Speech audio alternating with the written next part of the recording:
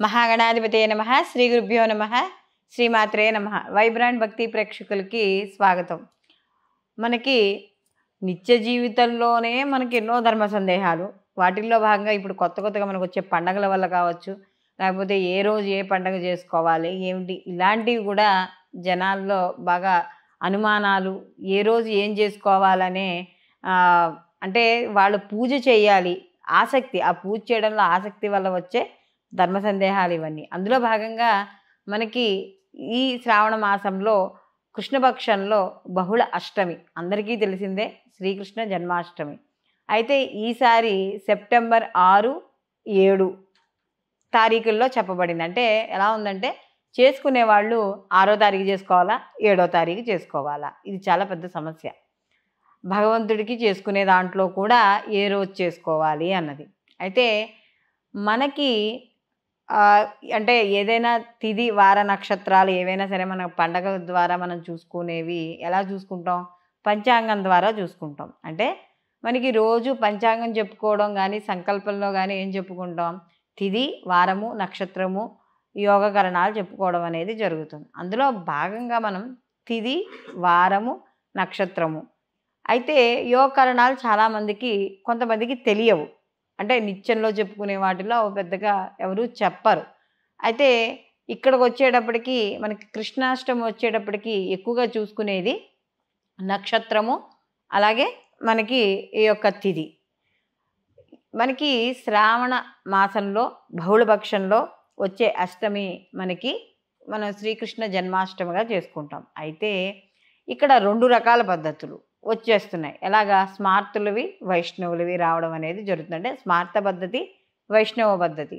స్మార్తులు ఏం చేస్తారు? వీళ్ళు మొదటి అంటే ఈ ఏదైతే అష్టమి అనే తిది అర్ధరాత్రి ఉందో ఆ అర్ధరాత్రి ఉన్న రోజు స్మార్తులు కృష్ణాష్టమి చేసుకోవడం అనేది జరుగుతుంది. అంటే శ్రీకృష్ణుడు ఎప్పుడు జన్మించాడో ఆ జన్మించిన సమయానికి అష్టమి ఉన్న రోజుని స్మార్తులు జన్మాష్టమిగా చేసుకోవడం అనేది జరుగుతుంది. అలాగే రోహిణీ నక్షత్రంతో కూడుకున్నది.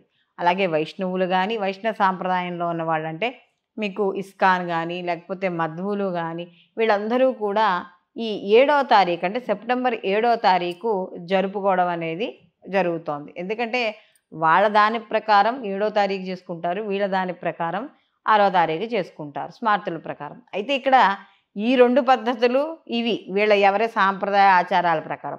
ఇప్పుడు మూడో కొత్త సమస్య ఏంటంటే గవర్నమెంట్ హాలిడే. చాలా మటుక్కి. అది మనం వినాయక చవితి తీసుకోవచ్చు లేకపోతే ఇప్పుడు మనం శ్రీకృష్ణాష్టమి చూసుకోవచ్చు ఏవైనా సరే గవర్నమెంట్ ఎప్పుడు సెలవిస్తే అప్పుడు చేసుకోవాలనే పద్ధతిలో కొంతమంది ఉన్నారు. కారణం? వాళ్ళకి సెలవులు దొరకవు. ప్రశాంతంగా పూజలు చేసుకోలేరు. పిల్లలకి సెలవులు దొరకవు వేటికి హాలిడేస్ ఉండవు. కాబట్టి ఎవరికి ఎప్పుడు హాలిడే ఇస్తే అప్పుడు చేసుకోవాలి. గవర్నమెంట్ లెక్కల ప్రకారంగా కానీ చూసుకుంటే కొంతమంది ఏడో తారీఖు ఇస్తున్నారు అని అంటారు. కానీ మామూలుగా మన ఏదైతే హిందూ సాంప్రదాయం ఉందో ఆ సాంప్రదాయ ప్రకారం ఉన్న రెండు పద్ధతుల్లో స్మార్త వైష్ణవ పద్ధతుల్లో కానీ చూసుకుంటే ఆరో తారీఖు స్మార్తులకి ఏడో తారీఖు ఇక్కడ వైష్ణవులకి చేసుకోవడం అనేది జరుగుతుంది. ఇంతవరకు బాగానే ఉంది. అసలు కృష్ణాష్టమి అంటే ఏమిటి అంటే కృష్ణుడు జన్మించడం. కృష్ణుడు ఏ రోజైతే అష్టమి రోజు జన్మించాడు కాబట్టి ఆ రోజు కృష్ణాష్టమిగా జరుపుకోవడం అనేది ఉంది. అయితే ఇక్కడ అసలు కృష్ణాష్టమి రోజు ఏం చేస్తాం? అనుకుంటే చాలామందికి చూడండి కృష్ణాష్టమి అనేటప్పటికి చిన్న కృష్ణుడే గుర్తుకొస్తాడు మనకి. పెద్ద అయిపోయిన తర్వాత కృష్ణుడు గుర్తుకు రాడు. చిన్నప్పుడు పాకే కృష్ణుడు ఆ చేతిలో ఉన్న వెన్న ముద్ద లేకపోతే ఎవరికైనా కాస్త ఈ భాగవతం చదివిన వాళ్ళు కానీ భాగవతం పెద్దల నుంచి విన్న వాళ్ళకి కావచ్చు లేకపోతే చదివిన వాళ్ళకి కావచ్చు మనకి ఆ కృష్ణలీలలు గుర్తుంటాయి. కృష్ణుడు అనగానే చిన్న కృష్ణుడు అనగానే ఒక రకమైన తెలియని ఆనందం మనకి మనసులోంచి రావడం అనేది జరుగుతుంది. అంటే చిట్టి చిట్టి పాదాలు ముద్దు ముద్దు మాటలు మనం విన్న భా మనకి ఆ భాగవతం విన్నా కూడా మనకు తెలుస్తుంది. ఆయన చేసే చిలిపి చిలిపి చేష్టలు శ్రీకృష్ణ లీలలుగా మనం చెప్పుకోవడం అనేది జరుగుతుంది. అయితే ఇక్కడ ముఖ్యంగా కానీ చూసుకుంటే ఈ జన్మాష్టమి అంటే శ్రీకృష్ణ జన్మాష్టమి అనేది అర్ధరాత్రి జరిగింది. ఆయన ఇక్కడ దేవకీ వసుదేవులకి జన్మించినా కూడా ఆయన యొక్క ఆయన అంటే ఆయన జన్మించడం కూడా చతుర్భుజాలతో జన్మించాడు. అలాగే వాళ్ళకి దర్శనం ఇవ్వడం కూడా ఆయన కృష్ణుడు ఆ చతుర్భుజాలతో శంఖచక్రాలతో గదాస్తాలతో ఆయన కిరీటంతోనూ పట్టు పీతాంబరంతోనూ ఈ దేవకీ వసుదేవులకి ఆయన దర్శనం ఇవ్వడం తదనంతరం వాళ్ళు చేయాల్సిన కర్తవ్యం ఏమిటో కూడా వాళ్ళకి చెప్పడం అనేది జరుగుతుంది. ఒక మాయని ఒక మాయని కప్పుతాడనమాట శ్రీకృష్ణుడు. ఆ మాయంపజేసి మళ్ళీ ఆయన నందవ్రజానికి తను తీసుకువెళ్ళాలని దానికి యమున ఎంత హోరైన వర్షం కటికి చీకటి మనకి బహుళపక్షం అనేటప్పటికీ కొద్దిగా చంద్రుడి యొక్క కాంతి కూడా మనకి తగ్గుతూ ఉంటుంది. అలాంటి కాంతి లేని సమయంలో హోరున వర్షంలో నది ఈ యొక్క శ్రీకృష్ణుని ఒక బుట్టలో వేసుకుని మనకి ఈ దేవ అంటే దేవకి దగ్గర నుంచి తీసుకొచ్చి వసుదేవుడు తన శిరస్సు మీద ధరించి అంటే ఆ యొక్క కృష్ణం వందే జగద్గురం ఆ యొక్క కృష్ణ పరమాత్మని తన శిరస్సు మీద ఎప్పుడైతే ధరి ధరించాడో ఆయన పునీతుడైపోయాడు. అలాంటి శ్రీకృష్ణ పరమాత్మని తీసుకెళ్ళి నందవ్రజంలో పెట్టడం దాని తర్వాత అక్కడ ఉన్న మాయా స్వరూపంలో ఉన్న ఆవిడని తీసుకొచ్చి ఇక్కడ దేవకి దగ్గర పెట్టడం. తర్వాత కొన్నాళ్ళ పాటు ఆయన ఆ నందవ్రజంలో పెరగడం. ఆ యొక్క నందుడి ఎంట ఆయన చేసిన లీలలన్నీ కూడా మనకి ఎంతో మనసును హత్తుకునేలా చేయడం అనేది జరుగుతుంది. అయితే ఈ స్థితికారకుడైన శ్రీకృష్ణ పరమాత్ముడి యొక్క జన్మదినం కావున ఈరోజు ఎవరైతే ఇంట్లో చిన్నపిల్లలు ఉన్నారో అంటే ఆడపిల్లలు ఉండేవండి మగపిల్లలు ఉండేవండి వాళ్ళందరికీ కూడా మనం మగపిల్లలు అయితే కృష్ణుడి వేషము ఆడపిల్లలైతే గోపిక వేషం వేయడం అనేది ఇది జరుగుతూ ఉంటుంది. ఇది ప్రతి ఇంట్లో ఉండేది. అలాగే మరి ఇంచక చిన్న చిన్న పిల్లలు ఉంటే మనం వాళ్ళని పాదాలు తీసుకొచ్చి మన ఇంట్లోకి వేసుకుంటాం. అంటే కృష్ణ పాదాలుగా మనం భావించి ఇంట్లో ఎవరైనా చిన్నపిల్లలు ఉంటే వాళ్ళ పాదముద్రలతో శ్రీకృష్ణ పాదాలుగా వేయడం అనేది జరుగుతుంది. అయితే ఇక్కడ అసలు శ్రీకృష్ణాష్టమి రోజు ఏం చేసుకోవాలి అనుకుంటే మనం ఆ యొక్క జన్మాష్టమి అనే వృత్తాంతాన్ని చదువుకోవాలి మనం. మనకి భాగవతంలోంచి అంతర్గతంగా ఉన్న శ్రీకృష్ణుడి యొక్క జననం వృత్తాంతాన్ని చదువుకోవడం అలాగే ఆ రోజు కృష్ణుడికి ఇష్టమైన పదార్థాలు వండి చేయడం. కొంతమంది ఇరవై ఒక్క రకాలు చేస్తారు పదార్థాలు. లేని వాళ్ళు కనీసం కొన్నేనా ఎవరికి ఓపిక స్తోమత ఉన్నంతకాలం ముఖ్యంగా అటుకులు. అటుకులు బెల్లము పెడతాం. అలాగే వెన్న శ్రీకృష్ణుడికి చాలా ఇష్టమైనది వెన్న. ఆయన మనసు కూడా వెన్న కరిగినట్టే భక్తుల ఎందు కరుగుతుంది. అలాగే నవనీతం అని చెప్పడం అనేది జరుగుతుంది అక్కడ. అంటే అది వెన్న అనేది అక్కడ అంటు కానిది. అంటే మనకి పాల నుంచి పెరుగు నుంచి వచ్చేది ఇవన్నీ కూడా మైలు కాని వస్తువులు.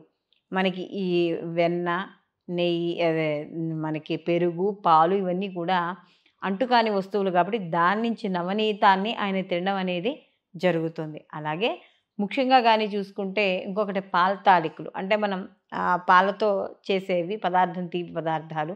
మీకు కృష్ణుడు అనేటప్పటికి మనకి చిన్నపిల్లాడి కిందే గుర్తుకొస్తాడు కదా. కాబట్టి చిన్నపిల్లలు ఏవైతే తింటారో అవన్నీ కూడా ఇక్కడ చేయడం అనేది జరుగుతుంది. చూడండి చిన్నపిల్లలు ఏదో ఒక కంటిన్యూగా ఓ ఏదో ఒకటి తినేసి వెళ్ళిపోరు. అది అక్కడ ఒకటి అక్కడ ఒకటి అక్కడ ఒకటి తింటారు. కాబట్టి ఇక్కడ కృష్ణుడికి కూడా అన్ని రకాలు చేసి పెట్టడం వల్ల ఆయన కూడా రకరకాల పదార్థాలు తిని మన మీద ఆయన యొక్క కరుణ వీక్షణాలు పడ్డం అనేది జరుగుతుంది. అలాగే ఈరోజు ఎవరైతే కృష్ణుణ్ణి ఆరాధన చేసి కృష్ణ భజన చేసి కృష్ణనామం జపించి సాయంకాలం అంటే ఆయన ఎప్పుడైతే అర్ధరాత్రి పుట్టాడో ఆ సమయంలో కృష్ణుడికి అభిషేకము అర్చన అవన్నీ చేసుకొని ఈ మనం ఏవైతే పదార్థాలు చేసామో ఆ పదార్థాలన్నీ నివేదన చేసి రాత్రి అంతా కూడా జాగరణ చేసి ఆయన నామ సంకీర్తన ఎవరైతే చేస్తారో వాళ్ళు తప్పకుండా వైకుంఠాన్ని పొందుతారు అని చెప్పి మనకి ఋషులు చెప్పడం అనేది జరిగింది. అయితే ఇక్కడ స్వామివారికి కూడా ఇక్కడ తులసిమాలలు శంకు పుష్పాలు తెల్లని సుగంధ అంటే మనకి ఇప్పుడు సన్నజాజి మళ్ళీ ఇలాంటివి దొరుకుతాయి కదా ఇలాంటి వాటిలతో కృష్ణుణ్ణి ఆరాధించడం అలాగే నెమలి ఈకలు సమర్పించడం ఇలాంటివి చేయడం ద్వారా కూడా మనకి మనం ఏదైతే పూజ చేస్తున్నామో ఆ పూజ సంపూర్ణంగా పూర్తి అవ్వడం జరుగుతుంది. ఏమంటే మాకు ఈ యొక్క నెమలి ఈకలు దొరకవు. ఏం చేస్తారు? దొరకకపోతే అవసరం లేదు. కానీ ఏది ఏమి చేసినా కూడా ఇక్కడ ఈ కృష్ణాష్టమి రోజు మనకి భక్తి ప్రధానం. అంటే ఇక్కడ ఎలా అంటే మనం ఎలాంటి భక్తిని ప్రదర్శింపజేయాలి అంటే రాధాతత్వాన్ని అలవరుచుకోవాలి. రాధాదేవి ఆ యొక్క కృష్ణుడి యొక్క పాదాలని తన మనసులోనే స్థిరంగా ఉంచుకుని నిత్యము కూడా ఆయన నామస్మరణే చేస్తూ ఉండేది. నిజం చెప్పాలంటే పెద్దలు చెప్పింది ఏంటంటే ఆవిడ ఎక్కువసార్లు కృష్ణుడిని చూడలేదుట. ఎప్పుడూ కూడా ఆ కృష్ణ పాదాలనే మనసులో తలుచుకుంటూ ఆరాధన చేస్తూ ఉండేదిట. అలాగే దీనికి ఒక చిన్న వృత్తాంతాన్ని కూడా చెప్పడం అనేది జరిగింది పెద్దవాళ్ళు. ఏమిటి అంటే మనకి కనపడుతూ ఉంటుంది భాగవతము. ఇలా మనం కృష్ణుడు పెద్ద అయిన కొలది దాని తర్వాత మనకు తెలుస్తుంది. ఒకసారి రాధాదేవి కృష్ణుడి యొక్క పాదాలని అంటే ఎక్కువగా ధ్యానిస్తున్న సమయంలో అంటే ఆవిడ ఆయన పాదాలను పెట్టుకుని ఆ కృష్ణనామమే ధ్యానిస్తూ ఉందిట. ఈ లోపల ఎవరో వచ్చి ఒక గ్లాసు పాలు వేడివేడి పాలు ఇచ్చారట రాధాదేవికి. ఇచ్చేటప్పటికి ఆవిడ యొక్క ఆ ధ్యానంలో ఉంది కదా కృష్ణుడి యొక్క ధ్యానంలో ఉండేటప్పటికి ఆ పాలు కూడా అలాగే తాగేసింది. ఆవిడకేమి కాలినట్టు ఆవిడకేం తెలియలే. అంటే వేడివేడిగా ఉంటే మనం తాగలేం కదా కానీ ఆవిడ తాగేసింది. ఈ లోపల ఎక్కడో ఉన్న కృష్ణుడు అక్కడ అలా ఆ ఉయ్యాలలో ఆయన ఊగుతూ ఉన్నట్ట ఊగుతుంటే ఈ లోపల రుక్మిణి వచ్చి స్వామివారి యొక్క సేవ చేయడానికి చూస్తే పాదాలు పొక్కిపోయి ఉన్నట్ట అయ్యయ్యో స్వామి ఏమిటి పాదాలు ఇలా పొక్కిపోయి ఉన్నాయంటే అప్పుడు కృష్ణుడు చెప్తాట రాధ వేడివేడి పాలు తాగింది. రాధాదేవి వేడి పాలు తాగితే మీ కాళ్ళు ఎందుకు పొక్కాయి అనుకుంటే ఆ రాధాదేవి మనస్సులో ఎప్పుడూ నిరంతరము నానామాన్నే జపిస్తూ ఉంటుంది కాబట్టి నానామాన్నే జపిస్తూ అంటే ఆ ఆయన నామాల్ని ఆయన యొక్క పాదాలను తలుచుకుంటూ జపిస్తుంది కాబట్టి ఆ పాదాలు నాకు ఇక్కడ పొక్కడం జరిగింది అని కృష్ణుడు చెప్తాట. కాబట్టి ఇక్కడ భక్తి అనేది ప్రధానం. ఎంత ఆడంబరాలు చేసుకున్నా చేసుకోకపోయినా కూడా కృష్ణాష్టమి రోజు ప్రతి వాళ్ళు కూడా కృష్ణనామాన్ని కృష్ణ జప కృష్ణుడికి సంబంధించిన భజనలు ఆయనకి సంబంధించిన పురాణ గాథలు చదవడం ద్వారా ఆ కృష్ణుడి యొక్క అనుగ్రహం పొందడం అనేది జరుగుతుంది. మేము ఏమీ చేయలేం. మాకు అసలు ఏమీ రాదు. మాకు సమయం లేదు అనుకుంటే కృష్ణం వందే జగద్గురు. ఓం శ్రీకృష్ణ పరబ్రహ్మణే నమ అని చదువుకున్నా కూడా మనకి ఈ యొక్క కృష్ణనామాన్ని చదువుకున్నా కూడా ఓం శ్రీకృష్ణ ఆయన నమ ఏదైనా సరే మీ ఇష్టం. ఆ నామాన్ని జపించడం ద్వారా కూడా మనకి ఇహమనందు మనకి ఏవైతే కోరికలు ఉన్నాయో ఆ కోరికలు తీరి పరమనందు మనకి ముక్తిని పొందడం అనేది జరుగుతుంది. సర్వేజన సుఖినోభవంతు లోకా సంస్థ సుఖినోభవంతు